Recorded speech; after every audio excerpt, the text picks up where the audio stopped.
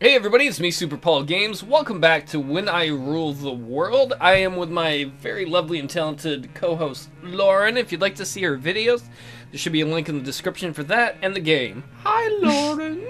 Hello, Paul. Did you like that sexy voice I did for you? Oh my gosh, I'm so turned on right now. You're welcome. I discover an Oh, I did! Look at that, everybody! She's flustered! Oh, my voice is so sexy! Alright, whenever you're ready. No rush, no rush. You know. I can't help it, she can't control herself. Oh. I Relax. discover an entertaining thing when I open the paper. The total absence of any article headings using the word world feels very disquieting, like something's fundamentally wrong. But of course, since this original paper is to be expected, most of the stories about local pensioners, policemen, and primary schools, and blah blah blah. You're right, this has got to be English, because pensioners is not a word that's used very often in my country. Told you. Well done. Always right. I don't know about that, but please continue. Investigating the classified ads, I discovered there's quite a few of quite a few numbers of tutors in the area. Ooh, I can have some fun times with those. Some of them have taken out big boxed ads, but many of them are just plain text listings. There. A simple text ad offering private history or geography tuition, either in your home ooh, or on Summit Street in the next town. Summit Street? Hmm. Sounds like a prostitute. What clinches is it that actually says clinches? I'm laughing Fine. about. Yeah, sorry, good. Oh, I was ahead of you, I just read the whole thing before you. I'm sorry. Write to Ellis at 217A Summit Street. I like she's like, what makes me think it's Ellis or Elitis? It's because it says right to Elitis. Good job, Sherlock. Glad you solved that mystery. My heart rate seems to just got it seems to have like tripled and it's Ellis! Yeah. He's still around and I have a chance to meet him. Hmm. The only problem is when. Wait, wait, one second. So he has been avoiding her and he's still fucking other girls, is that what's what's coming across there? Well, either he's a part of the agency or he's a creep who has his way with underage girls and tells them, You're gonna be queen of the world, now let me touch your vagina parts. Not sure which. I like her hair. I like her blue hair though. I like how you got distracted by that. I know. I was like, her hair's really blue. Oh my god, it's so pretty. No, I have to go see him. I have a street address, but it's a couple of hours travel, and my mother wouldn't want me making this kind of journey on my own. Really, your mom wouldn't want you to visit this really creepy teacher who lives in another town. Oh, he's so nice though. He cleans up after, Uh, which means I'm gonna, I'm going to have to make the trip without her knowing. I gulp. That's my little gulp. Do you like that? very, very good performing. I can't wait for your Oscar. Oh, Best visual you. novel reading of the year, Lauren for I Gulp. Mm-hmm. Oh, I just beat you out for it. Sorry. Damn. I'm Give me my. Oscar. I've never had to disobey her on something like this before. Oh, a being. Oh, you disobeyed me up there. I have a sixth sense for that.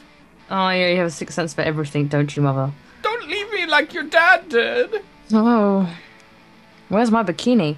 Well, it's not exactly disobedience since she she hasn't actually uh, specifically forbidden it. Forbidden it, right? That was my rationale in the school. When I was in high school, I realized if you don't ask, they can't say no. So I wanted to ask, and I just do whatever I wanted anyway. there you go, kids. Life lessons That- from Super Paul Games. Yeah, gotta love those. I tried to rationalize it, but I know I'm not convincing myself. She wouldn't want me going, and I know that. But I have to find out what the agency are up to, what Ellis found out. So I have to make the journey at a time when she's not here. When or where will it be? I never leave. It's less than a week before an opportunity presents itself. I'm out to get tampons. Are you sure you'll be okay at home, honey? Yes, mother. It's not really a problem for me to hire a babysitter, you know. She's 16. Mother, I'm 16! I suppose so. Well, I'll make sure to get you a phone number at the hotel that you can call if you have any problems. Apparently, I'm a prostitute. If you need anything at all, okay? Yes, Mother, it'll be fine. I met him on the internet. Maybe he'll be new, your new daddy. Sugar Daddy. It's quite a coincidence for my mother to go away for the weekend, just days after I needed an opportunity to travel secretly.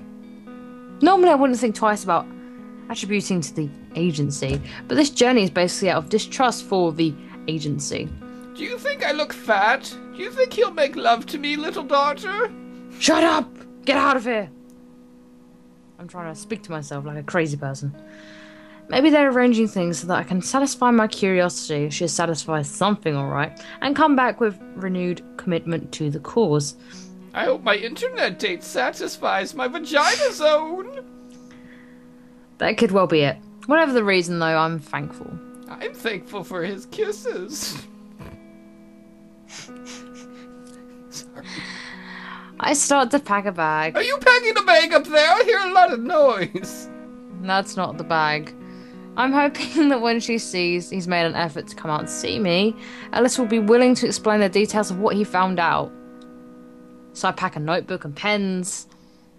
I think there might be enough to explain that it'd be worth me staying overnight at Ellis's place. Whoa! So this took a different turn. Yeah. So I pack a change of clothes and a Oh. towel to clean myself up, as well as toiletries and so on. So what's toiletries? Is that like toilet paper? Yeah, toiletries is like uh like soap, toothbrush, little hairbrush, little a toothbrush? Have you seen my toothbrush? No, I haven't your bloody toothbrush or your hand towels. Isn't that a little much? She's 16 years old. She shows up at her professor's place, tutor's place, like I brought a toothbrush. I thought was staying at Oh dear god. I thought was staying a night at Ellis's is very exciting. Oh god. Oh she's blushing. I have Oh my god, I have pleasant dreams that night. Wet dreams. I sit anxiously through school the next day. I go straight home. Wait, you, you didn't even talk to me at school. Sorry. What? What are you even doing here? That's what he said as you were leaving school. Mm. What if he's actually his son? Wouldn't that be ironic? Hmm. I go straight home as mother asked me to. She's wanting to leave about an hour after school ends. I'm off to get my vagina filled. Okay, darling, here's the number where I'm staying at the hotel. Thanks, mother. If anything comes up, I hope something comes up for me tonight. Anything at all, you know you can call me. Yes, mother. Are you sure you'll be home all right? I'll be fine, really. Be All fine. right, darling. Well, I have to go now. You can shut your gob. Have a nice time. She stops in the door and calls back at me. Selena, take care, my dear. And she's finally gone. Soon, so will I be. I've decided to wait a little before I leave, in case Mother's forgotten something. I try to pass the time by doing my homework. It's really hard to concentrate. So many wet dreams. My mind is just full of thoughts of Ellis. Finally, the 60 minutes that I've set myself are up. I can go. I collect together some food and drink for the journey, putting it in my bag with a final look around to make sure I've not forgotten anything. Oh, condoms! And I'm off. That's a 20 minute walk to the rail station. Yeah, this is English. I could have got a bus, and after 10 minutes, I'm wishing I had. But I keep walking. I'm quite nervous as I approach the station, although I go into a city centre on my own from time to time. Travelling to a different town is another matter entirely. I've only been to the station twice before, and both times were years ago with my mum. I've never even had to buy a ticket myself before. The station is scary. Is that how you get to Hogwarts? That actually looks a bit like King's Cross Station, Yeah, which is the Hogwarts station. that's what I was saying.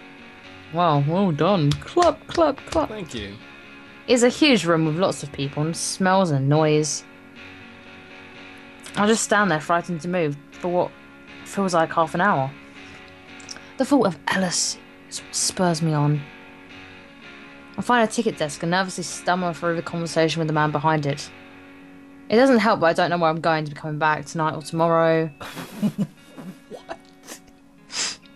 She's like, I don't know how long I'm going to stay with my former tutor. But in the end, I have to hand over some money and get a small piece of cardboard in return. The man helpfully tells me that the next train leaves in about 20 minutes and where to wait. Walking around the place seems to take an age, but I reach the identified platform and sit down, feeling tense and drained. Oddly, though, I don't feel scared of the crowds because I know the agency are watching me, and with the great plans they have for me, they, they won't let anything happen to me, even if they don't approve of this trip. It's a weird kind of reassurance, but very comforting nonetheless. I don't think I could cope if I didn't have the security. After some time, the train pulls in with lots of screaming brakes and incomprehensible, incomprehensible announcements. The few other people who've been waiting for it walk up to it as soon as it stops and climb in, and I follow them. Yeah, no, no, that's a bit weird. I find myself a seat with nobody else around and settle down. I have no idea how long the journey will be. Is that opposed to a seat someone else is already sitting in? I sit on his lap. You I do, she- do you? I bet she sit on Alice's lap. I bet she did. She enjoyed it quite a bit. It's nice to be away from the noise of the station, but as the train pulls away, it's very scary to think I'm leaving my hometown on my own for the first time. I think if you're 16 years old, it's a good idea to go on a train to a place you don't know, where a teacher you haven't seen forever lives and isn't expecting you. That seems like a good life decision. Town where I meet Ellis for the first time. Well, technically, it would be the second time, right? the memory has a calming effect on me. That's how English people actually laugh. They go, ha. I remember that day so clearly. Mother introduced me to him. Oh dear, it's gonna get dirty. Selena, this is Ellis, who's going to help you with your history and geography. I chose him because of his luxurious hair. It sure is luxurious. I wasn't impressed with him then, first time I saw him. What I know, what I now think of him as charming and confident face seemed arrogant to me at the time. Why did I have to have more lessons on this stuff? It's already so boring the lessons I have it at school. The first hints of a very special message he had for me were that first evening when he was trying to persuade me to study. I'm glad that sentence ended like that. I don't know why his hand is in his pocket like that. He's readjusting, ain't he? My mama said I had great potential, and he said, If you could hear me facepalm, you would have heard that there. Uh, yeah, yes, Selena, you have immense potential, far more than you think. You have a unique future spread out ahead of you. My mother naively agreed, completely unaware of how literally he was, how literal he was speaking. But I can't blame her too much. I was just as oblivious. They managed to get him to agree that he could come and teach me every Monday. The next week, he repeated a few times that I was special, that I had a unique future ahead of me. I think my mother just thought he was being encouraging. At first, I was hostile, but then I started to wonder if he was hinting at something else. It was his third visit which changed my life. We sat down at the dinner table and he talked about what we'd been studying at school. Why do I care about what some Russians did years and years ago? Smile enigmatically. You think politicians are boring, right? Yeah, completely. What about spies? Spies? Yeah, the politicians only decide what to do because the people gathering information for them. Secret agents pretend to live normal lives while all the time covertly reporting back to their masters. And the information they sent the politicians couldn't be plainly spelled out, it had to be hidden. He looked at me intensely when he said hidden. I wondered why. Just imagine if their enemies were able to read the information, they'd be lost. Their plans would be compromised, and their enemies would find out how much they knew. So they had to find ways of hiding messages. They put them in little capsules and put them up their buttholes and stuff like that. He went on to teach me about methods that spies would use to hide their information up their buttholes and so forth and so forth in seemingly inconspicuous communications. I'm saying that word because I can. I was interested despite himself. Despite myself, not himself. Then at the end of a lesson, he said the words I'll never forget. Can I put something in your butthole? I mean, you could never tell when someone around you might be a secret agent, but you could look for the hidden messages and find them if you know the right way to look. His smile and the intense gaze of his orange eyes made me sure that he was trying to tell me something beyond his words. The next thing he said confirmed it. Now, why don't you have a look at the sheet over the coming week, and next time we see you, we can see what you think. Why would he say have a look at? If there were, hadn't been a secret message, if it had been just homework, he could have said, try these questions or do this work. No, no, he was trying to tell me to look for a secret message. I, I just knew it. I, I, oh, oh, okay, okay. that night I officially studied my homework sheet he'd given me. On the surface, it seemed to just be so. some essay suggestions and pointers to the relevant bits in my textbooks, but I knew that there had been more to it than that. I tried a few times and different techniques uh, he'd uh, taught me, and uh, I thought up some of my own variations. And sure enough, picking out certain letters from the sheet of paper had given me a yielded message. You'll rule. Uncertain of what it meant, I decided to look around the pages and questions in my textbooks.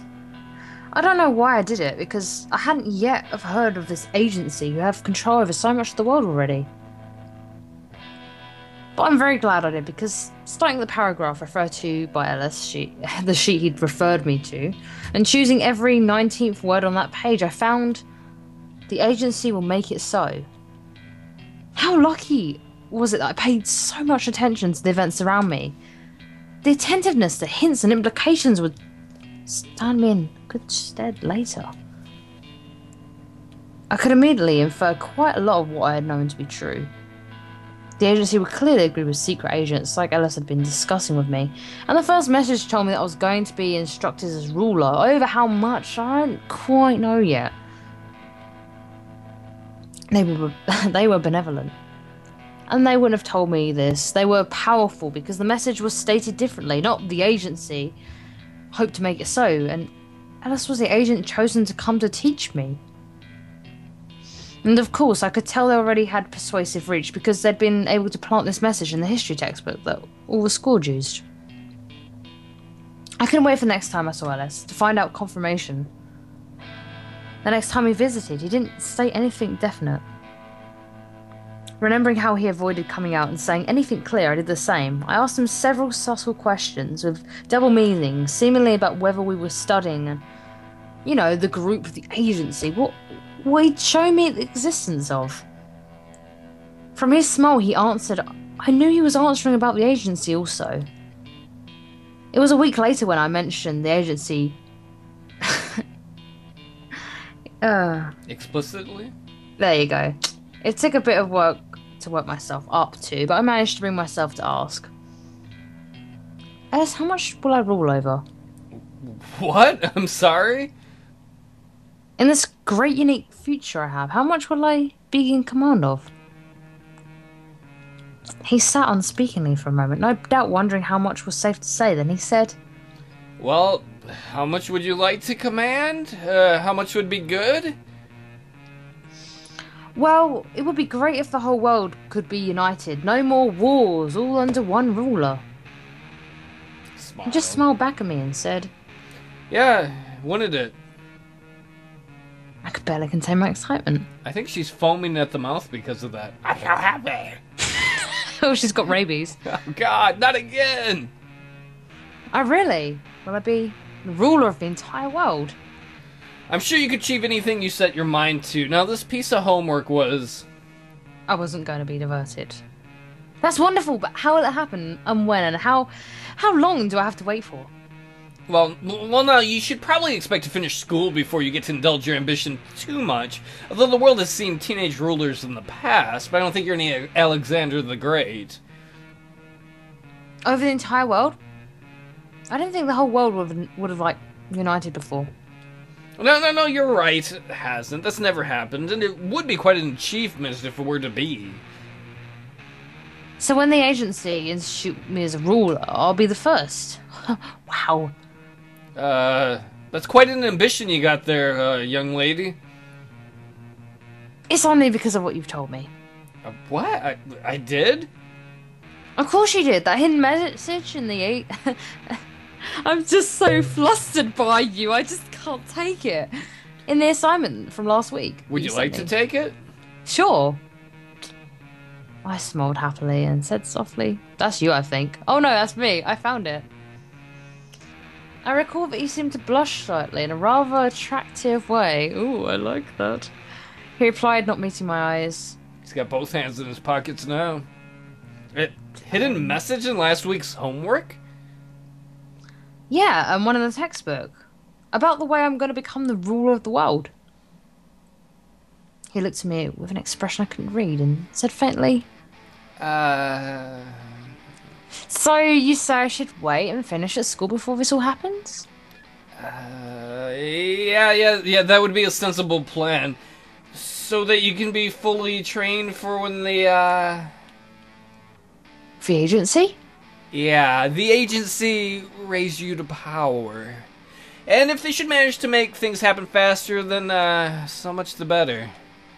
Yes! From then on, he talked about the agency more openly. He didn't give me too much information. I got the impression that there was a lot planning the agency were going to be doing. I didn't need to know the details. Given my current suspicions, I should have paid more attention to that. But at the time, I was obsessively excited with Ellis and the news he brought. Big surprise. Oh no! My mother commented on it, and I that I was looking happier, and especially on the days when Ellis came around. And everything went well until my mother decided at the end that the term that he didn't, she didn't want to keep paying a tutor since I'd been taking so much more interest in school. I was very sad to have my final lesson with Ellis, but he told me that if he had if it had been a fun time, not oh, it'd been a fun time and not to worry about it too much. Of course, I wouldn't worry too much about anything, although I was sad to see him go discover the agency were looking out for me. Looking back on it now, I realise that I love him. Why didn't I see it before? Oh god, she's psycho. For all that he did for me, for all that he taught me. His wonderful manner and confident way of speaking. Is that how you get a woman? By confidently speaking? Oh, it got me in bed. I used to hang on to every word he would say. When he walked into the room and everything became brighter. It was so clear to me now. Ellis, I love you. And I want you to tell me the truth about what happened with you in the agency. You know what? On that cliffhanger, this is where we're gonna end it. As Creepy Girl goes to see her tutor and profess her love. Thank you so much, Lauren, for joining me on this. Nah, thanks. Goodbye, everybody. Bye.